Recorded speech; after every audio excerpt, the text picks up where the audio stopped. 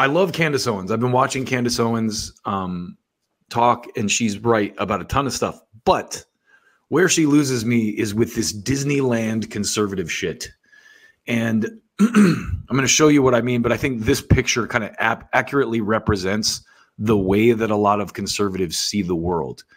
It, like like it's this happy like oh if we just bring god back everything will be fine oh yes god is the answer to everything no it's not. In fact god is the reason we're in the predicament we are now because religion promotes subservience and i mean if you're gay the only reason you have to feel guilty about that or you know feel like be be ostracized from society is some religious nuts view that being gay is somehow wrong in the bible which it's not. It doesn't say anything about it in the new testament. Um and so it kind of it irks me when people like candace owens who are otherwise very intelligent and to the point on a lot of issues basically completely fumble the ball on this so Candace Owens had this discussion, and this this segment's going to be called "The Disneyland Conservatives," because I want to just show you how out of touch with reality uh, Candace is on this issue. Um, so watch this clip. This is her talking about porn addiction on the uh, on her podcast and answering some reader questions. And uh, check this out. obviously an ill, it's obviously very bad, and yet there are people that are completely brainwashed and think that it's a matter of free speech. Like, obviously, that's not free speech. People just having sex on a camera is not a matter of free speech. Okay. That right there, out the gate, people are brainwashed to think that that's free speech. Now, Candace, what we know about free speech is that you have to protect speech that you don't like.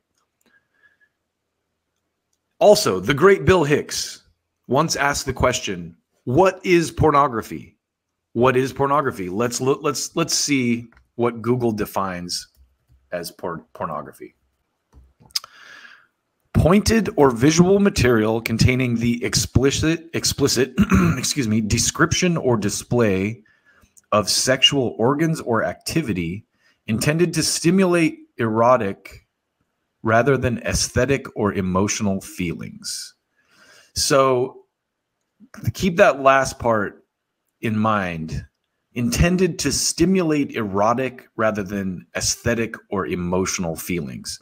Now, what Bill Hicks pointed out uh, back in his day, here, let me blow that up for you. I'm sorry, that's a little small. What Bill Hicks pointed out in his day was that um, doesn't that sound like every commercial on TV? You know, and the the Bud Light commercials have the chicks in bikinis cracking beer, and you know, and then he he goes into this whole joke about how if they could do it, they just have a naked woman with her fingers between her legs and enjoy coke. You know, because so what do you actually define as pornography? That's that's where it becomes a slippery slope because once you have that control mechanism in place, and this is the control mechanism that Candace is advocating for, I'm going to go into why she's wrong about this because she's dead wrong about this. Um, once you have that control mechanism in place, the definition of what's pornography can shift. Suddenly, if you show you know pictures of a, a dead baby that's naked on a on a war zone in a war zone, that's pornography, and they can censor that and they can call that pornography. They can call anything. They're like, well, it's naked, so it stimulates erotic feelings. You know, so it's these when you start conservatives, when you start advocating for this stuff, you look ridiculous for for like censoring porn. And also, Candace, you have the right as a parent, as a you know head of household, as a, a, a the the mother of a family, to keep pornography out of your household. You know, this is another area where the conservatives just become the same hypocrites that the left is, because typically they're advocating for personal responsibility. And as a parent, it's your personal responsibility to keep pornography, keep your kids away from pornography, talk to your kids. Now, it could be argued that in today's world, it's nearly impossible to completely shield your children from pornography because it's everywhere. But that doesn't give you the excuse. They, they could have made the same argument back in the day with television. Now, should certain should pornography and, and certain things be censored from certain environments? Absolutely. I mean if there's a kids channel they shouldn't be showing adult commercials or you know things like it whether it's on the internet or on tv or whatever. But let's uh let's continue listening to candace here because this gets better. Though this person writes i never watched porn because my father told me that's some father's daughter and if you watch it you shame her him and the whole family. Wow that's powerful. From conversations with friends now that's a little emotional. Um, would this person apply the same logic to w- watching a soldier kill someone on a battlefield? You know, if you do people who commit war crimes are their families guilty of that too, of that sin? You know, when it's porn, it was like, oh, well, the daughter and her, you're watching porn, you're completely ruining the family and the person who's involved in it. So that again, that's something that could carry over to anything. Now, when it comes to sexual stuff like prostitution and porn, there also is a fine line between consensual and forced. So, uh, of course, I'm against anyone being forced into doing anything. But when it comes to pornography and prostitution and a lot of stuff, it's consensual. Like these women are adults, they make the choice to do it. And there are male prostitutes too. Obviously, it's a lot less common, but let's keep going. I, we're going to go into the history of this in just a minute. I've learned that that advice saved me a whole lot of heartache too. Wow, that is that is I'm very glad that you shared that and it's something that people should maybe say to their sons when they're growing up because they are exposed to it and it is very true. It saves you a lot of heartache, especially as a man. As I've said, men are wired differently. Well, this person has a disagreement. Uh, Vic writes, I'm a big fan of Candace, but I don't agree with banning things like pornography, and I do indeed see it as a slippery slope. If we ban porn because it's harmful, there are many other things that will eventually be banned for that reason. If we care about freedom, we have to care about the freedom for people to do things we don't agree with to at least some degree. There we go. Now, kudos to Candace for airing that viewpoint. Um, she's going to tell you why she disagrees with it, but I will give her credit for giving that viewpoint airtime at the very least, you know, um, because I feel like a lot of people don't do that. They don't give air airtime to views that they disagree with, or, or, even try to debate views that they disagree with. So listen to what she says to this. This is great. Yeah, I think it's the exact opposite. I mean, people act like this. What we lived in a society that there was always pornography. There wasn't. And that's why I said we need to do an episode, which I think I will try to do next week, where I take you through the history of pornography in this nation. It, it the only reason pornography didn't exist, you know, the whole time is because of media, because it's really what media is what mass media and the ability to display images to people on a massive scale is really what where where it came into the West. But it anyway, let me let her finish here. It actually is the opposite. The slippery slope theory has been proven true that because of pornography, we are now suffering from a variety of different ills. It is impacting families. It's impacting relationships. It's impacting men. Men have addictions. Um, it's impacting human sex trafficking. So the slippery slope, you're right. It is a theory that has proven true, but our society was functioning just fine with an understanding that this is not an example of free speech. We are the people that are offering their bodies on the internet. Um, and readily accessible to young children who stumble upon it, that is not an example of free speech. Unfortunately for Candace, she is dead wrong about this. Um, like, just listen to the mental gymnastics she's doing here. I don't like it, so it's obscene. It's not free speech because I personally don't like it. And again, don't watch it. Don't allow it in your household take some personal responsibility. In fact, what it actually is, is obscenity. And the founding fathers of this nation never had a viewpoint that obscenity was a matter of speech. Actually, yes, they did, Candace, because obscenity is defined by religion, by people who claim to have morals, whatever, you know, people who also support war and death as long as it benefits their, you know, fits their worldview. In fact, what it actually is, is obscenity. And the founding fathers of this nation never had a viewpoint that obscenity was a matter of speech. Actually, they did. It's in the First Amendment where it says Congress shall make no law respecting an establishment of religion. That's for you, Candace, specifically, or prohibiting the free exercise thereof. So that's the first fucking amendment of the Constitution. And it does deal with obscenity because obscenity is subjective, Candace. What you view as obscene, I might not view obscene. Maybe I like pornography. I have that right in a free society. You do not have a right to impose your religious views on the masses. And this is the problem that I have with a lot of conservatives is out of one side of their mouth, they're like, "Oh, free speech, free speech." You know, we gotta. Yeah. On the other, out of the other side of their mouth, no, we're going to lock down everything that doesn't jive with our Christian values. You know, the same Christians who are arming a fucking mass murder on the other side of the world in several countries, actually. So we're a Christian nation. No, we're not.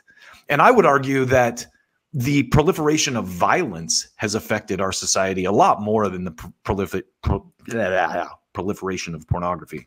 And this is why I call people like Candace the Disneyland conservatives, the people who view the world through this fairy tale lens where everything was so great when we had God, but since God's been taken out of society, which it, God has not been taken out of society, that's a, that's that's the same level of drama queening that the Israel people and the you know the the trans people do.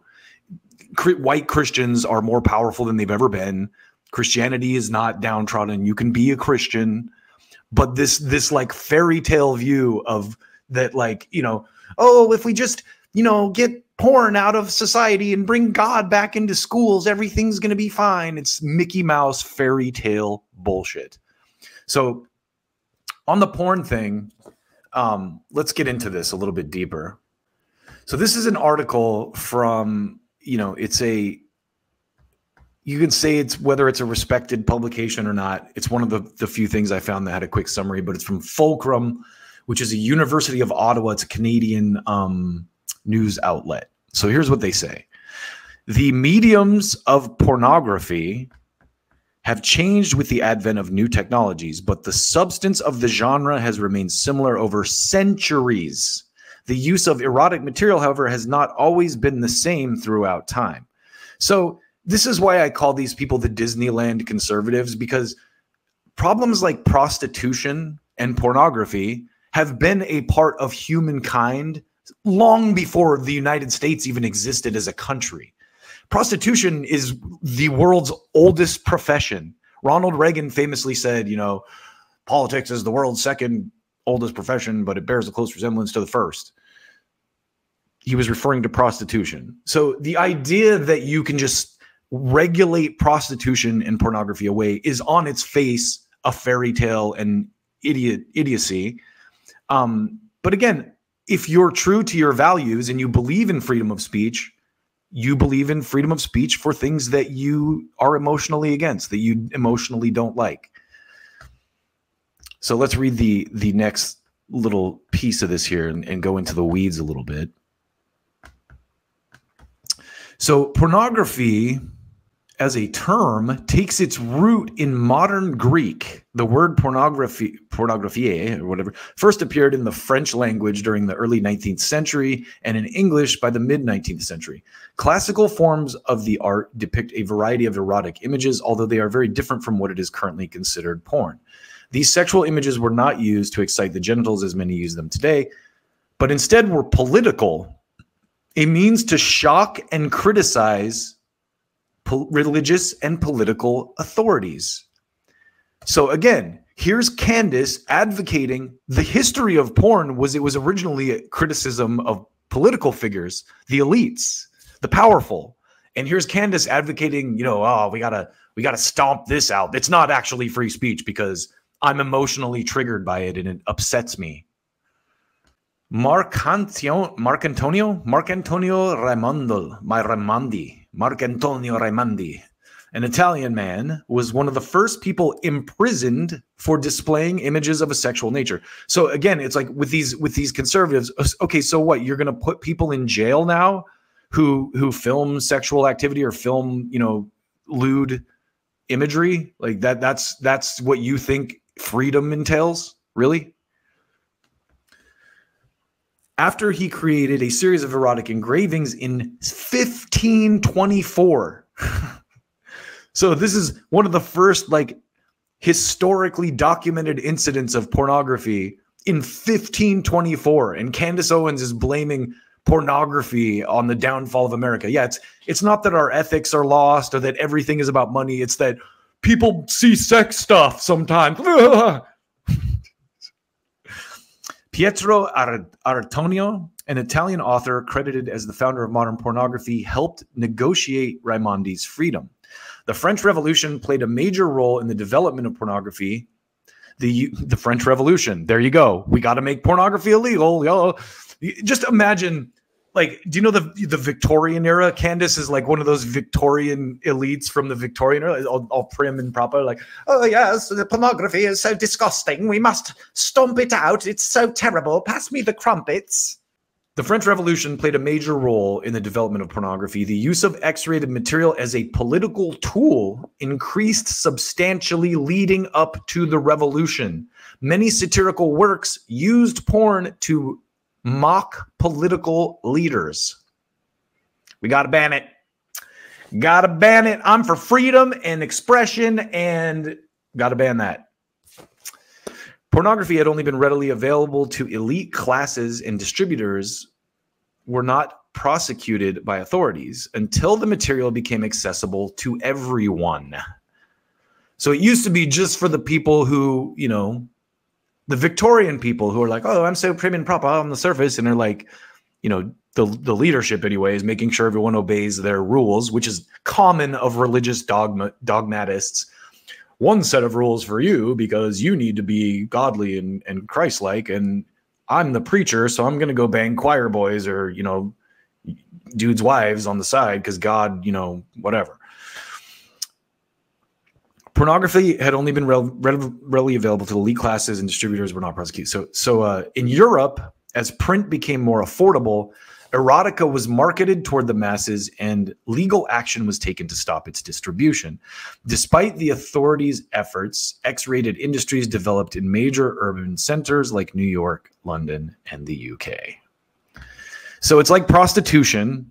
Once it is a thing, you're not going to get rid of it. It's like people would make the same uh, like I, about guns, right? It's like you're never going to ban guns. Yes, there should be you know better regulation. People should you know there should be more accountability i believe and maybe that's the case with porn too.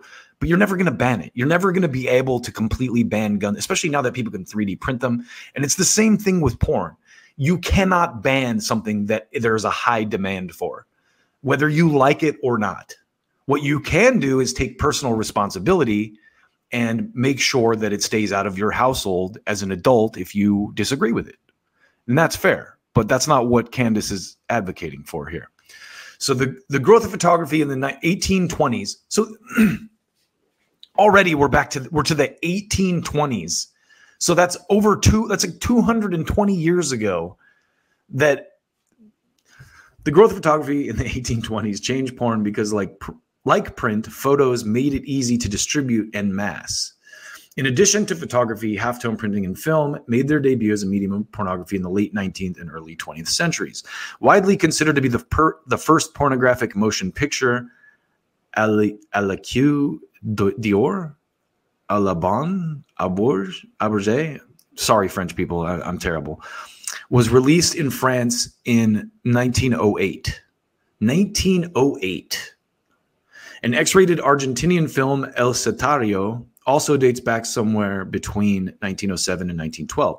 Regardless of which film came first, the relationship between the silver screen and erotica was established, and the rest is history. So, in the early 1900s, porn was already a thing.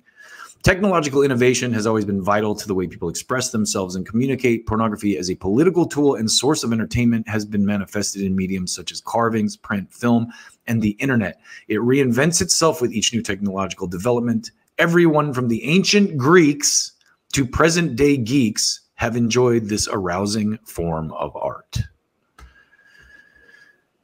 So, just trying to inject a little bit of sensibility into my conservative friends who live in a Disneyland fairy tale here. Uh, you're not going to get rid of porn. It's great if you don't like it. I understand. Y- yes, it's it. There it can there are valid arguments to be made that it does cause problems, but valid arguments can be made about anything. And at the end of the day, it comes down to personal responsibility.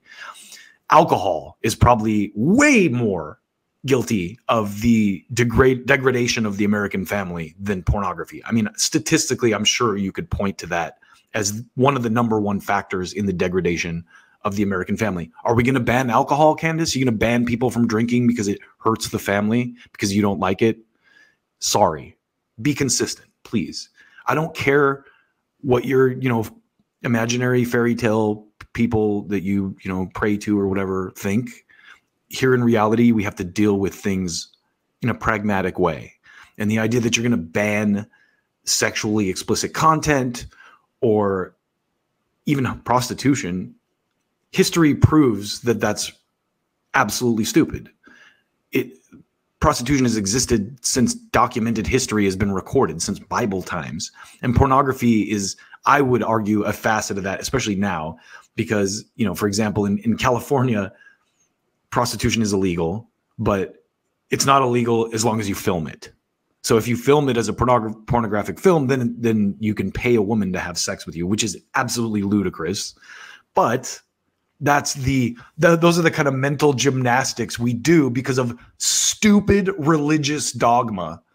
If it was legal women would be a lot more protected. Um, you know they they could i think in, in nowadays when you look at prostitution in a lot of ways the internet has made it more of a like a woman's thing where you, they used to have to work for a pimp and a guy like controlled all their money now they can pimp themselves through OnlyFans and all that stuff. And you can argue, we can debate the merits and the the, the moral, you know, uh, position that you have on that, but you're not going to stop it. And the best thing you can do as a religious person to, you know, spread your values into the world is live and live an example of integrity. And rather than look down on people who do things you disagree with, look at them from from a position of love and a position of trying to understand why they do the things they do.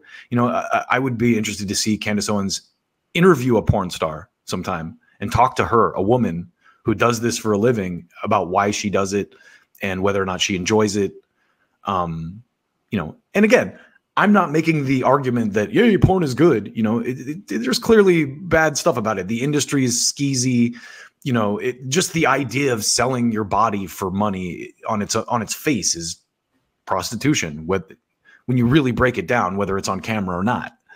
Um, but again, I'm not arguing about you know, you know, abstract moral shit like that. What I'm arguing about is pragmatically when you try to ban something like that, you're only going to create, as you saw in the history we just read, the original reason pornography was was used was was to attack political figures and and uh, you know the powerful, and so of course it was banned for that. And you know I, I'm not saying that it's used being used for that today because it's clearly not in most cases. Like 99.9 percent of the cases, pornography is not a political thing now. Um, but it is good to understand the history and uh, you know why there's kind of this organized, uh, I guess. Um, campaign by people to to take it down because it's like decency. And again, how do you define decency? That's subjective. And so the best thing to do is to be a moral example and take personal responsibility.